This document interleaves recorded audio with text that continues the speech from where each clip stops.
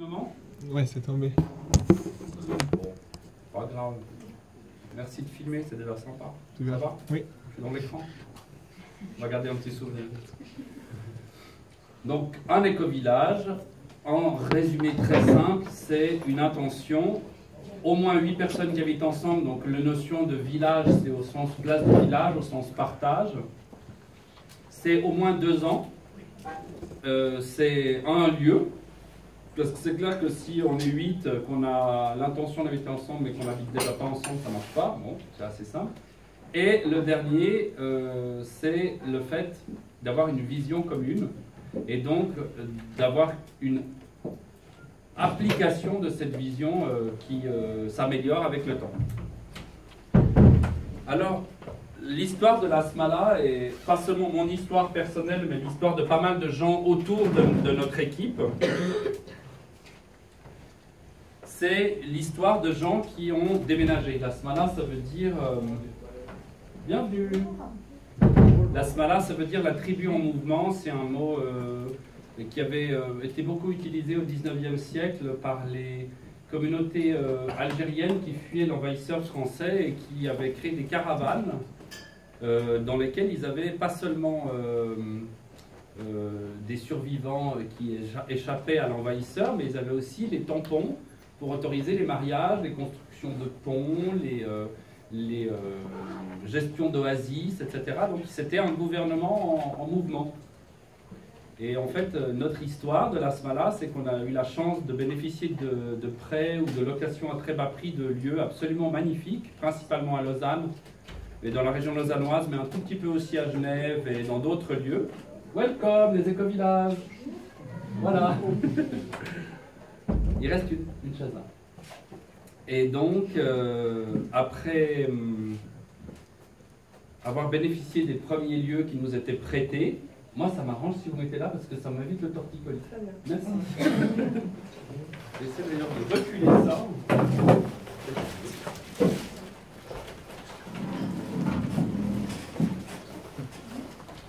Donc après avoir géré plusieurs lieux sympas, eh ben, le, défi, la difficulté qu'on a rencontrée, c'était de devoir euh, fréquemment déménager.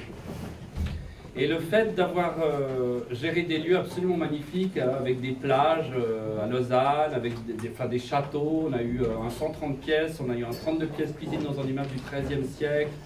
On a géré des lieux pendant 5 ans, 8 ans, 10 ans, qu'on a réhabilités, transformés et perdus comme la Smala euh, du 19e siècle en Algérie. Donc c'était en même temps une grande souffrance, une grande résilience, résilience au sens réussir à dépasser les difficultés fondamentales qu'on rencontre quand on a euh, euh, un défi comme ça de, réussir à conserver la qualité de la relation humaine, la qualité de l'homme. Et, la vie et la génération de revenus, quand on a tout le temps déménagé, c'est dur. hein. Au, total, c'est 40, 45 maisons aujourd'hui. Il nous en reste 4. Donc on a perdu euh, plus de 40 maisons.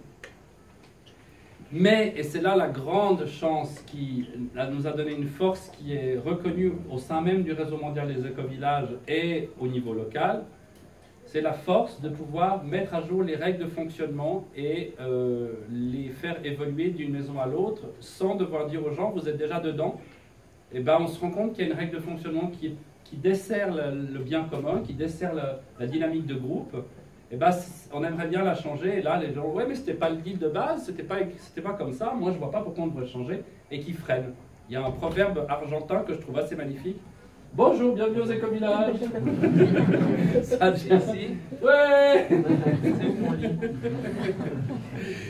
Il y a un proverbe argentin que je trouve magnifique qui dit euh, que hum, faire évoluer un, un groupe existant, c'est aussi difficile que de négocier le déplacement d'un cimetière avec les, les personnes qui sont dans les tombes. Donc en fait, c'est c'est vraiment très difficile de faire évoluer un groupe existant si les bases ne sont pas claires. Donc, c'est une expérience concrète qu'on a faite, que toutes les, les dynamiques de création de consensus, d'obtention de, de ce qu'on pourrait surnommer euh, une bonne dynamique de groupe, elles sont faibles, ces tentatives de, de- faire évoluer le groupe, par rapport à la proposition initiale. Et donc, plus la proposition initiale elle est cohérente, elle est solide, elle est claire, par exemple, sur une question très pratique de la création d'un écolieu et de sa vie au quotidien, c'est est-ce que je peux inviter des amis à dormir et à quelles conditions? Question très simple finalement. Ben, la réponse à cette question, si on l'a testé 40 fois, à un certain moment, on a compris les limites. Et donc on a réussi ce qu'on pourrait surnommer du tuning, donc de la, de du, du bon paramétrage de qu'est-ce qui doit être fixe, qu'est-ce qui est flexible, qu'est-ce qui est essentiel, qu'est-ce qui est secondaire, qu'est-ce qui est important, qu'est-ce qui l'est moins. Toutes les communautés intentionnelles ont fait ce chemin. La difficulté, c'est que la plupart, elles étaient basées sur la première, la deuxième, la troisième expérience au maximum. Donc des gens qui avaient une sagesse, une expérience intérieure magnifique, mais qui n'avaient peut-être pas euh, les contrats qui avaient été éprouvés par des, problèmes administratifs. On a signé presque 2000, 1900 et quelques contrats de bail. Il y en a plusieurs détenteurs de contrats de bail dans cette salle, donc il y a vraiment des détenteurs de contrats de beau. Et ça, ça change déjà les, règles du jeu parce que c'est souvent le contrat qui, est la base. Et donc, créer un éco-village, on se dit tout de suite, ah, ce qui est important, c'est de trouver la terre, c'est de trouver des gens motivés, c'est euh, d'avoir les fonds, les fonds nécessaires. C'est pas faux, mais notre expérience, c'est que le plus difficile, c'est d'avoir une bonne proposition de règles de fonctionnement de gouvernance basée sur des aspects contractuels très clairs qui définissent ce qui doit être mis par écrit, ce qui ne doit pas l'être. Par exemple, la question de l'usage des toilettes ou de l'accueil des invités ne doit pas nécessairement être mis par écrit, mais certaines choses doivent l'être. Et la question, c'est qu'est-ce qu'on va mettre par écrit, qu'est-ce qu'on va formaliser pour qu'ensuite cette volonté qui est finalement assez courante d'avoir un, lieu de vie proche de notre nature où les gens peuvent partager pas seulement du, logement, mais aussi du lien social, moins de biens, plus de liens, générer de l'activité professionnelle, générer des revenus sur place, développer différents types d'activités, euh, que ce soit sociales, professionnelles, culturelles, etc. Que toutes ces activités-là soient sur ce qu'on pourrait surnommer un terreau fertile, profondément fertile. Donc l'expérience que j'ai pu faire euh, avec deux, trois collègues, dont notre présidente de la SMALA, qui a maintenant 78 ans, donc euh, en 2015, elle a un peu moins d'engagement, mais elle a beaucoup accompagné, euh, etc. C'est qu'il faut avoir le courage de mettre des règles très claires au début, et je vais vous parler un petit peu de ces règles qui sont, entre guillemets, les aspects les moins visibles et, à mon sens, les plus essentiels de la qualité d'un écolieu. L'idée, c'est de se limiter à 15, 20, 25 minutes pour qu'ensuite on puisse avoir le plus possible d'échanges. Et bien sûr, nous, on a la chance que l'aventure puisse continuer après. On va vous distribuer, si ce n'est pas le cas, à tous un petit livret qui présente un petit peu l'historique, la vision, la démarche. Je ne sais pas si euh, je peux te demander de faire circuler en même temps, comme ça les gens ils ont un peu dans la main. Il y en a déjà plus ou bien Oui. Il y en a encore Bon, voilà. Je crois qu'il y a un tas là aussi. Voilà, bah allez-y, hein. Voilà, c'est pas grave. Voilà. Donc euh, il y a Ecopol, qui est un label de qualité développé par l'association Smala qui a géré cette quarantaine de lieux. Et puis il y a le Global Eco Village Network, qui est un réseau d'écolieux dans le monde, il y a plusieurs centaines, voire milliers d'adhérents. Bon, il y a une histoire drôle, c'est qu'il y a genre 15 euh, 000 adhérents, donc 14 000 au Sri Lanka qui ont adhéré tous ensemble, c'est 14 000 petits villages magnifiques, puis 1000 dans le reste du monde qui sont d'autres lieux intentionnels. Voilà, bon. Donc euh, il y a beaucoup d'écolieux, et ce qui, est, ce qui est intéressant, c'est que leurs points communs avec euh, le label Ecopole de la Smala, ils sont nombreux, mais nous on a rajouté quelques aspects qui permettent de ce que je pourrais surnommer booster la machine, et ne pas laisser le terrain libre aux spéculateurs immobiliers, aux industries euh, déshumanisées, etc., pour justement occuper le terrain du déploiement à large échelle de lieux qui font sens, qui sont humanistes, et qui ont une durabilité, une cohérence dans leur, euh, dans leur démarche pour le, pour le quotidien humain. Voilà, donc euh, la création d'écolieux pour nous, elle repose sur quatre piliers. D'abord un pilier qui est très simple dans tous les éco-villages, c'est l'année d'essai, qui s'oppose ou en tout cas est, est, clairement et profondément différente euh, des démarches des coopératives qui, elles, assure un logement à vie dès le premier jour, pour la plupart. Donc on peut être une coopérative et rajouter cette brique de, complexité, mais aussi d'humanisme, qui est de dire, pour qu'on soit, on ait l'intention d'habiter ensemble, bienvenue aux éco-villages, pour qu'on ait l'intention d'habiter ensemble, pour qu'on ait l'intention d'habiter ensemble, on doit avoir le courage de reconnaître qu'il faut une, une période d'essai. Donc c'est pas une période où les gens sont en quarantaine dans une petite boîte à l'extérieur des villages c'est l'idée de dire vous avez moins de droits et moins d'obligations, surtout moins d'obligations parce que pour avoir les obligations d'une co-responsabilité dans un écolieu, eh bien, il faut que vous ayez compris, vous ayez expérimenté, et ça prendra entre 6 et 24 mois approximativement pour qu'il y ait euh, euh, un, apprivoisement euh, mutuel et qu'il y ait cette décision fondamentale d'intégration définitive. Donc ça s'exprime au niveau légal par un contrat de bail de durée déterminée pour une période d'essai, à la fin duquel le contrat est terminé. Il y a un deuxième choix de faire le contrat de bail de durée indéterminée pour l'intégration définitive. Donc on passe du statut d'abord de sous-locataire à l'essai, et ensuite colocataire. Et pour bien accompagner et assurer qu'il y ait un humanisme dans cet accueil, on demande aux gens de nous, de nous désigner des lieux où ils pourraient rebondir ou de sous-louer leur logement précédent pour pouvoir y retourner au cas où. Et rien que le fait de faire cet acte-là, ça réduit la probabilité que ce soit un échec parce que les gens sont conscients psychologiquement que ce n'est pas un acquis. Et inversement, les aides, on a des fonds euh, qui sont inclus dans nos budgets mensuels pour l'aide au réemménagement. Puis, petite histoire drôle, la SMALA, bah, on a eu plus de 40 maisons, mais on a eu un seul déménageur, c'est Gaspard. Et Gaspard, voilà, il a déménagé les 40 maisons, les, les, les 1900 personnes. Et c'est vrai que d'avoir le même déménageur, c'est toujours amusant. Donc, euh, lui, il est fort pour aider les gens à se réintégrer ailleurs. Et puis, il y a tout, on peut laisser aux gens le temps au cas où. Et on assume le fait qu'on n'a pas un taux de, succès de 100% ou 90% ou même 80%. Euh, on est plutôt à, je dirais, en, fonction des lieux et des situations, entre 40 et 70%. Donc c'est vrai, euh, tout le monde ne, trouve pas sa place. Donc 70-70% des gens trouveront leur place, mais pas tous c'est une expérience, c'est comme une école de vie, c'est à notre sens aussi, voire plus instructif qu'une université.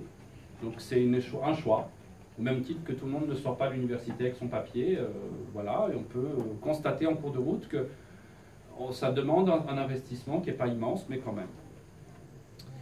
Le deuxième aspect euh, des piliers clés, c'est le budget participatif et le temps consacré à le gérer. Donc dans les écolieux de type écoquartier, écoville, euh, le budget mis ensemble est très bas. On trouvera des budgets plus élevés dans des styles euh, résidence, hein, qu'en anglais, en, espagnol, en portugais, on appelle condominio. Le principe des lieux où les gens ils ont un espace privé, mais ils payent pour avoir des services et des biens en commun. Dans les condominiums, dans les résidences, c'est des biens et des services fournis par des gens extérieurs, souvent de conditions plus modestes, avec une réalité de lutte des classes entre les, riches qui sont propriétaires d'une villa dans une résidence-service et les pauvres qui viennent pour nettoyer. Alors que là, l'idée, c'est que c'est le contraire, c'est qu'on va accompagner la, la communauté vers l'autonomie à travers justement le fait que l'argent soit mis en commun. On calcule en Suisse, on est entre Idéalement 500, souvent 300, des fois 200, mais en moyenne 350, 400 francs par personne et par mois adulte. Les enfants, c'est gratuit. Donc concrètement, ça veut dire que le deuxième pilier, c'est mettre de l'argent en commun pour acquérir des biens et des services euh, de véhicules partagés, de nettoyage d'espaces communs, de grands espaces communs. Dans nos maisons, on peut avoir jusqu'à, là, dans les maisons qu'on construit, on peut avoir jusqu'à 200 mètres carrés de salon commun, mini-spa à la cave, et puis des petites cuisines, des petites salles de bain pour les gens qui ont moins d'espace privé et qui acceptent de réduire leur espace privé parce qu'ils vont payer un loyer qui sera légèrement moins élevé, de mettre un peu plus de charges pour des espaces communs, mais aussi pour du nettoyage des espaces communs qui va être fait par certains habitants rémunérés et non pas au tournus, puisque notre expérience, et ça c'est une des grandes expériences, c'est que le tournus, c'est théoriquement super, dans la pratique ça peut marcher, mais il vaut mieux pas compter dessus, il vaut mieux le laisser comme une option finale après quelques années quand il y a une vraie confiance qui s'est établie entre les habitants et non pas au début, donc il vaut mieux rémunérer les gens au début et créer un fonds. On achète aussi avec ce budget participatif des consommables de base qui vont du papier pour l'imprimante aux épices en passant par euh, le café, le thé, etc. Et donc, il y a des espaces de stockage, il y a des responsables de stock, et au final, ça, ça facilite vraiment la dynamique de groupe. Et puis pour surveiller ce budget, on a deux, activités par mois qui représentent une journée de 8 heures, une de 4 heures qui est extrêmement structurée, sans émotion, où on, fait vraiment le point pratique avec euh, repas en équipe, euh, euh, évaluation de la satisfaction des cohabitants sur les différentes activités et en termes de gouvernance, renvoi au groupe de travail pour tous les risques d'insatisfaction, de, nécessité d'amélioration pour éviter que ça tourne en rond et qu'on parle d'une heure du fameux problème euh, euh, des escaliers euh, qui ne sont pas nettoyés ou des stocks de chaussures qui commencent à nous emmerder devant les espaces communs, etc. Donc on renvoie à des responsables de, travail dont la mission c'est faire que pour le mois prochain, il ait fait le consensus, il ait obtenu un, avis de tous, les, habitants concernés et que, le cas soit représenté comme étant réglé cette fois et qu'il y ait une validation plénière. Donc ça nous permet de surveiller nos, investissements communs de manière utile, efficace. Et les quatre autres heures qu'on donne par mois, c'est pour passer du temps comme on le veut, comme on le, quand on le veut, avec liberté totale de rythme, pour une activité utile à la communauté. Donc euh, ça peut être être responsable d'un groupe de travail. Par exemple, le responsable du groupe potager, ben, il va euh, stimuler les gens, organiser 3-4 fois par année une journée d'entretien du potager ensemble, etc. Les responsables des groupes de travail sont là pour que les choses se fassent et non pas pour, pour faire tout tout seul. Sous-entendu, ce qui est important, c'est surtout de prendre la responsabilité de dynamiser le groupe et c'est là qu'on retombe sur la communauté intentionnelle et sur l'intention de faire partie d'un ensemble plus grand et d'apporter sa pierre voilà, donc ça c'est le deuxième pilier. Le troisième, bah, c'est la coopérative, la, non-spéculation et le fait que les gens peuvent prêter de l'argent sans habiter ou habiter sans prêter de l'argent. Donc c'est une flexibilité dans la coopérative qui existe peu ailleurs. Dans la majorité des coopératives, les fonds propres nécessaires sont largement inférieurs aux nôtres. Nous, on est à 20%, souvent dans les coopératives, c'est 5-10%, parce qu'il y a des aides de l'État, mais ces aides sont conditionnées à l'existence d'un bail dès le premier jour sur du long terme ce qui réduit la potentialité d'intention commune forte, donc réduit la vision, réduit le sens, parce que l'État, ce qu'il veut souvent, c'est surtout répondre aux besoins de logement et pas aux besoins de communauté intentionnelle, qui inclut le logement mais qui va plus loin. Et donc le fait d'accueillir euh, des personnes qui euh, n'ont pas d'argent mais qui ont une forte culture d'entrepreneurs au service du bien commun, qu'on dit entrepreneurs sociaux, euh, des gens qui ont par exemple monté euh, des services de panier de, proximité et euh, mouillé leur chemise comme, comme pionniers dans le domaine, des gens qui font de l'intégration sociale de longue date en ayant de l'innovation dans la manière de favoriser la mixité entre les générations, les profils, etc. Ces personnes-là, mais quel que soit leur domaine d'entrepreneuriat social, ont la priorité pour des logements sans mettre des fonds propres. Inversement, les gens qui mettent des fonds propres savent qu'ils vont soutenir par leur argent et par les rendements qu'ils reçoivent, qui sont modestes, hein, c'est 2,5%, enfin c'est en fonction du marché, c'est des rendements qui sont ni euh, spéculatifs, ni, euh, ni mineurs, c'est des rendements corrects de placement. Et donc au final, grâce à cette méthode euh, du label Ecopol, ben, on peut avoir des gens qui habitent sans placer, des gens qui placent sans habiter, et bien sûr la voie royale, des gens qui placent et qui habitent. Donc ça permet vraiment d'accueillir tout le monde pour une année d'essai. Donc au final, on est dans une situation où on a en même temps la non-spéculativité et la porosité entre les gens qui ont de l'argent et qui peuvent soutenir des projets utiles plutôt que de le laisser dans une banque classique. Euh, et puis euh, les entrepreneurs sociaux qui prennent leur destin en main. On a la création de confiance pour un lieu de qualité. On a le budget participatif pour euh, la partie vraiment partage euh, qui va au-delà de, locaux, donc euh, de services, de biens, etc. Et puis le dernier pilier, c'est l'incubateur. Et l'incubateur, c'est le principe qu'on ne veut de nouveau pas laisser euh, comme étant une activité qui, qui, qui, donne comme image d'être lié un incubateur. On imagine tout de suite biotech, technologie start-up, etc. Et on trouve c'est dommage parce que le principe d'incuber, hein, c'est comme la poule qui s'occupe de son petit, euh, son petit œuf et de son petit poussin, c'est simplement de permettre aux choses d'éclore. Donc on trouve dommage de ne pas euh, occuper le terrain de l'incubation.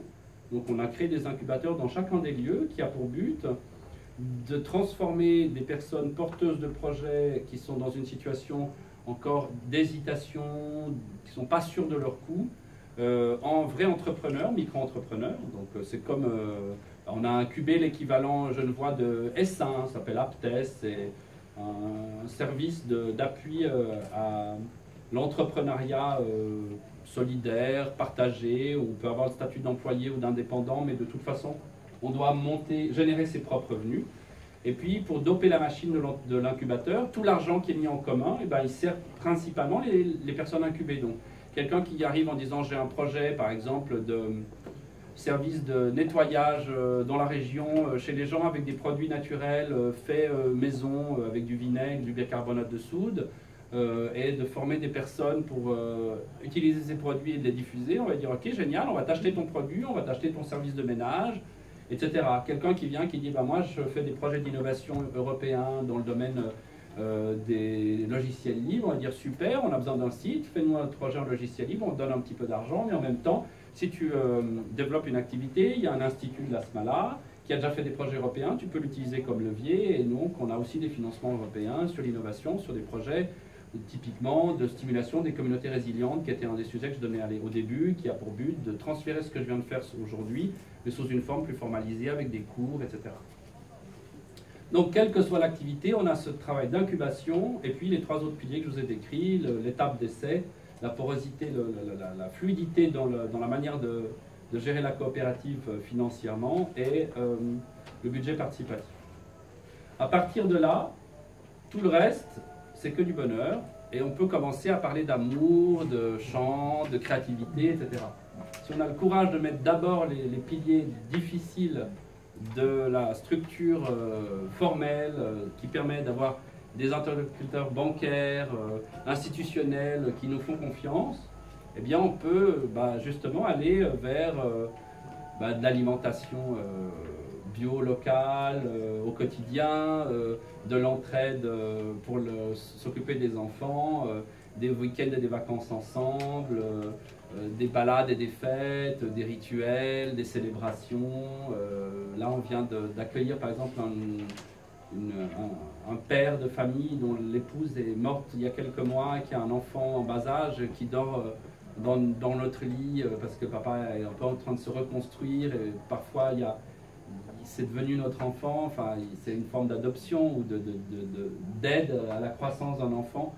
Euh, on peut vivre des choses absolument magnifiques, mais notre politique, c'est d'abord, on fait les choses de manière relativement euh, sérieuse, et puis en plus de ça, on met pas mal de jokes, on n'est pas trop spirituel au sens home, comme ça, même si on respecte, mais par contre, on met beaucoup de blagues dans l'esprit des couples, on, voilà, on s'amuse, dans nos procès-verbaux, par exemple, quand on a la partie émotionnelle, on, on met des phrases marrantes euh, mentionnant que la CIA s'intéresse toujours pas à notre démarche, ce qui est dommage parce que ça pourrait leur apprendre beaucoup dans la dynamique communautaire. Enfin bref, on s'amuse euh, comme on peut. On, vous pouvez le voir dans les films, dans les machins. On a fait un film d'Asmala avec Angelina Jolie et Clint Eastwood qui nous espionnent. Enfin, on a fait plein de trucs marrants.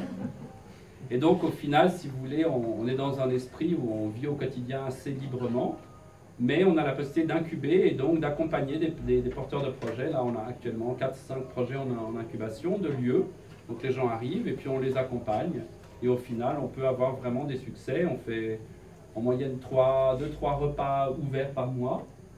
Et puis on accompagne des projets en Suisse, au Brésil, euh, dans certains autres pays, c'est un peu en train de démarrer. Mais c'est vraiment un label, comme euh, il y a des labels Déméter pour euh, l'alimentation biodynamique ou ou euh, ISO 9001 pour... Euh, je sais pourquoi c'est d'ailleurs. Bref, mais c'est il y a vraiment une procédure relativement formalisée, vu qu'on a fait ces 40 lieux. Voilà, donc c'est un type d'éco-village. Si vous enlevez euh, la partie coopérative et la partie, la partie incubateur, bah, c'est un éco-village classique. Nous, on a juste rajouté ces deux briques-là. Mais c'est 20 ans d'expérience, c'est une équipe, il y a 5 euh, copilotes de, projets de longue date. Et c'est solide, on a actuellement un patrimoine pas immense, mais enfin quand même euh, une centaine de pièces euh, de, logements. On a géré au total, je pense, une quarantaine de lieux, beaucoup de, familles, de, seniors, beaucoup d'artistes, beaucoup de gens de, toute histoire. Et puis là, on a, signé avec pas mal de banques, donc on est, réputé euh, fiable, solvable, et donc on a la possibilité d'accueillir des nouveaux porteurs de projets, des accompagner.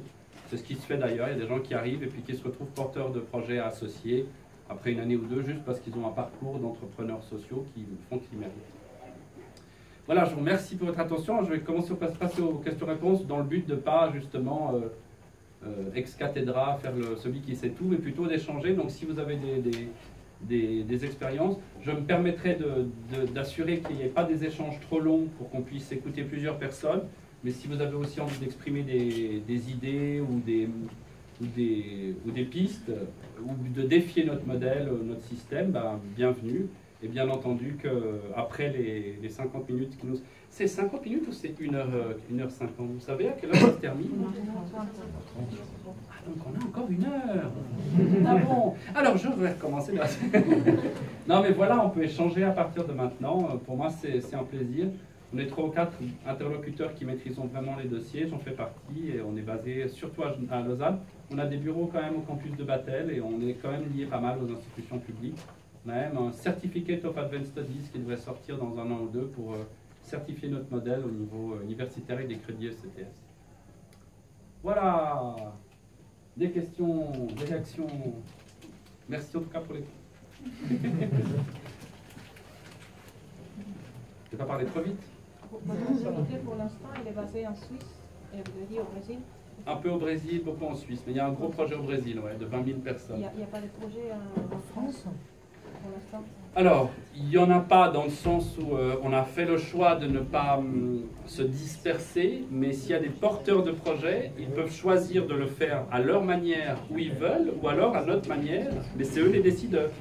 Nous, tout ce qu'on fait, c'est que dans, un bon rapport de coaching, ben, quand quelqu'un arrive avec un projet, on lui dit on va te soutenir euh, à tous les niveaux, hein, moralement, financièrement, structurellement, etc tant que certaines règles soient, sont respectées, et puis ça, va être une tension positive où des fois il y aura des écarts qui seront négociés ou d'autres pas, etc. Donc il y a des choses sur lesquelles on essaie de pas trop euh, lâcher. La, au niveau de la distance entre on n'est déjà pas très loin, mais est-ce que j'ai ma question versait plus sur le fait de si vous aviez déjà eu à faire le passage au niveau de.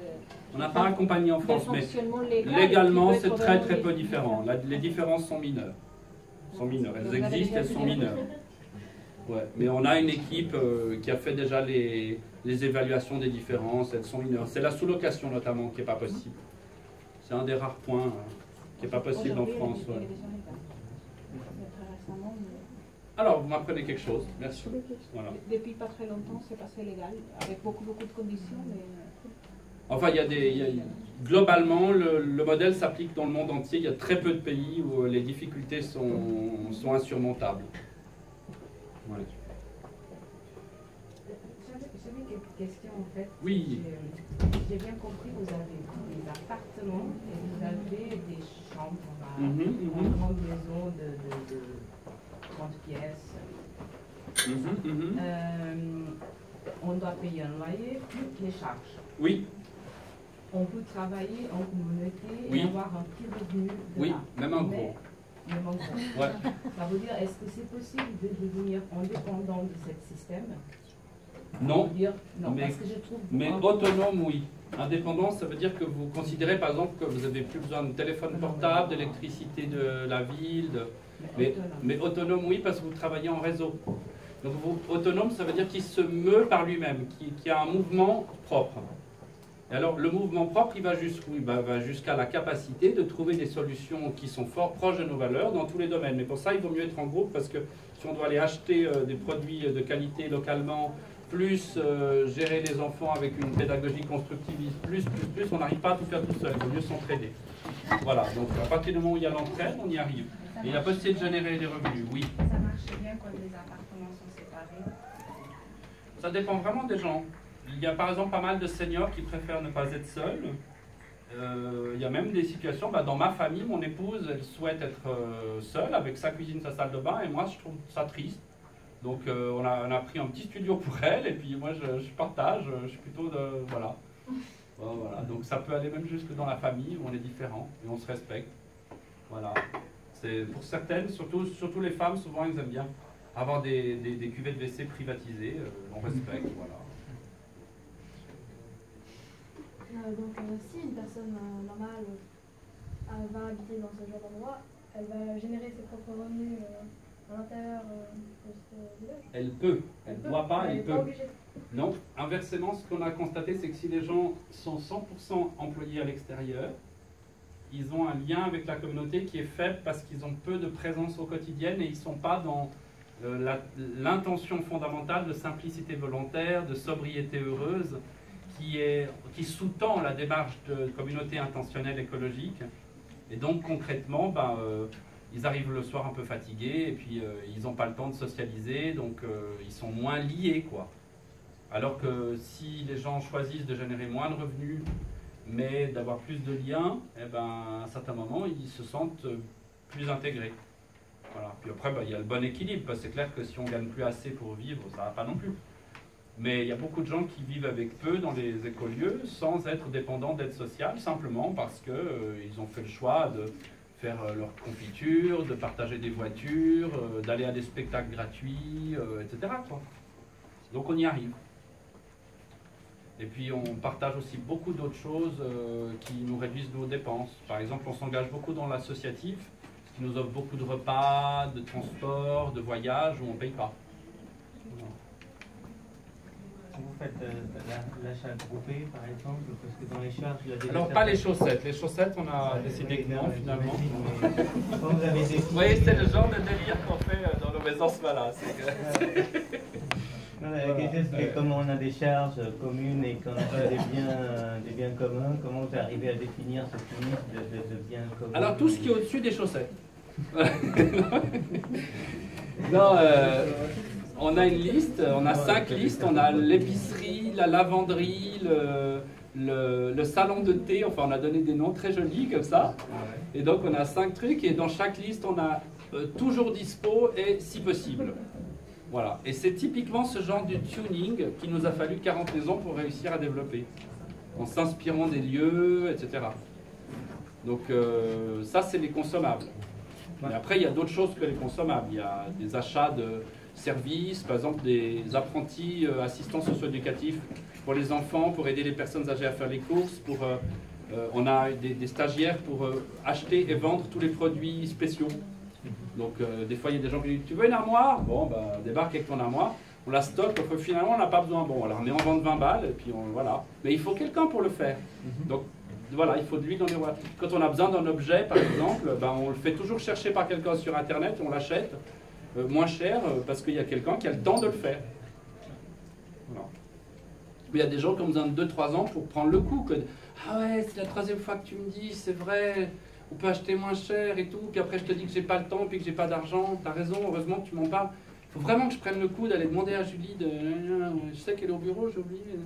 Voilà, c'est des cas comme ça. Ça prend du temps de rentrer dans la dynamique de coopération et plus de opération. C'est pour ça d'ailleurs qu'on appelle ça les, esprits écopoles, c'est les soirées smala coco, coopérer, cohabiter. Parce que les gens opèrent, donc ils, lavent leur linge, euh, pas en famille, mais euh, ils le lavent euh, avec des produits, des produits bio, ils, ils ont un potager, ils opèrent. Mais alors, est-ce qu'ils vont coordonner l'usage